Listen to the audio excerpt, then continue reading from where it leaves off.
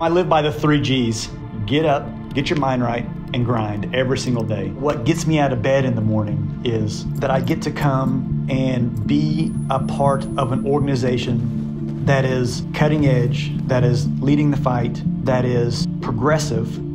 Our goal here at Rapid Application Group is how do we support the warfighter with 3D printing?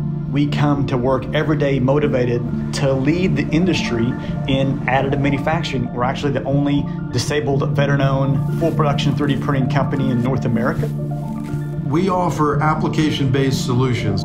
We also offer reverse engineering, 3D CAD modeling, tool design, fixture design. In one particular case, we took a three week assembly process and got it down to 45 minutes.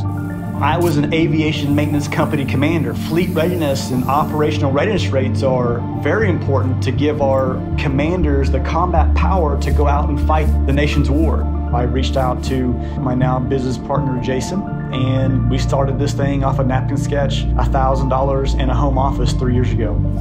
I'm Jenny Cothran. I'm a manufacturing extension agent for the Oklahoma Manufacturing Alliance, which is part of the MEP National Network. Rapid Application Group call the Oklahoma Manufacturing Alliance for any needs that they may have. Everything from networking to AS9100 certification to PPP to a reboot program to help them grow and diversify. OMA was instrumental in helping us get to where we are on the quality side and really exposure in Oklahoma to who we are and what we do. We actually grew through COVID. It was probably the most challenging year but the OMA was there the entire time. PPE was scarce, the supply chains were down. Terry and I knew we had to help. That changed the course of Rapid Application Group. Instead of working on aircraft parts, we shifted gears over into the PPE supply chain issues.